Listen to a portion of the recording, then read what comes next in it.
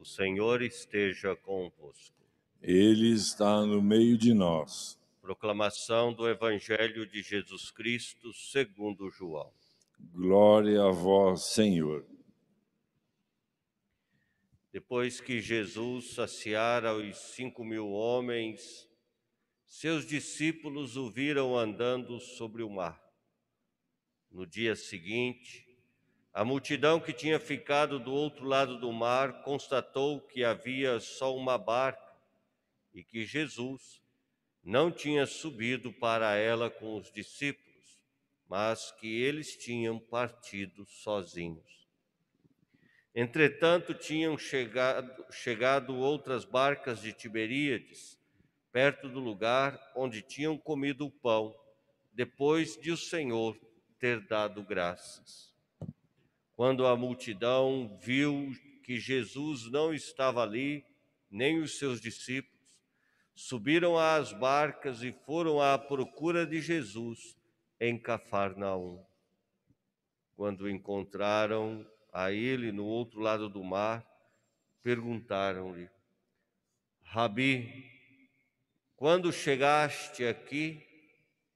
Jesus respondeu: em verdade, em verdade vos digo: estáis me procurando não porque vistes sinais, mas porque comestes pão e ficastes saciados. Esforçai-vos não pelo alimento que se perde, mas pelo alimento que permanece até a vida eterna e que o Filho do Homem vos dará pois este é quem o Pai marcou com o seu selo. Então perguntaram: Que devemos fazer para realizar as obras de Deus? Jesus respondeu: A obra de Deus é que acrediteis naquele que ele enviou. Palavra da salvação. Glória a vós, Senhor.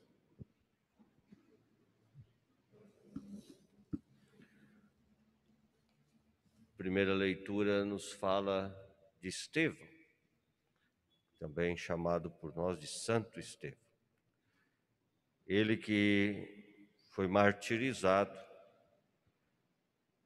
deu a sua vida também pelo Evangelho. Estevão soube entender e soube acolher a palavra que Jesus anunciara. O milagre da multiplicação era para ser na vida daquelas pessoas que puderam contemplar este grande sinal, de fato, como um sinal. E Jesus critica aquela gente dizendo que vocês me procuram não porque viram os sinais, mas porque comestes pão e ficaste satisfeito. É sempre uma tentação procurarmos a Deus para que Ele satisfaça as nossas necessidades. É sempre uma tentação procurar a Deus para que Ele resolva os nossos problemas.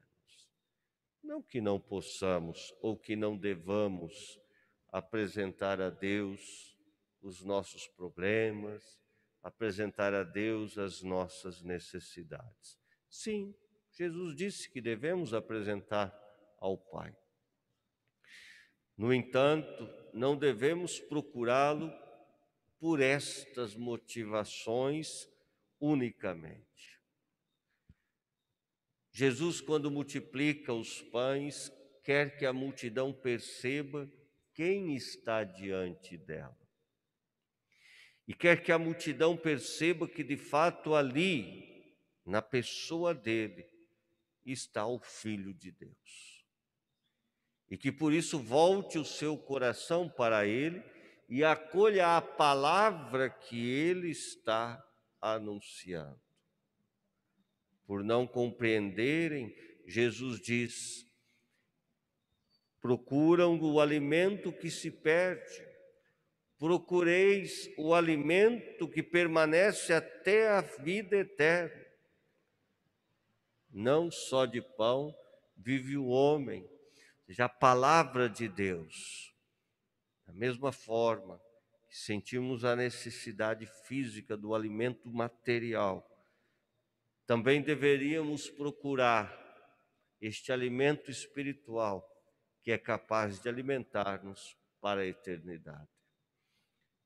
Também cabe dizer que o milagre da multiplicação dos pães é uma alusão clara, é uma referência clara a Jesus que é pão da vida e que é oferecido como alimento para a eternidade no altar. O pão e a palavra. E vejam que esta é a dinâmica em torno da qual toda a oração eucarística, ou melhor, toda a missa, ela ocorre. Mesa da palavra e a mesa do pão da Eucaristia. É o Senhor que nos alimenta para a nossa vida eterna. Podemos ficar em pé.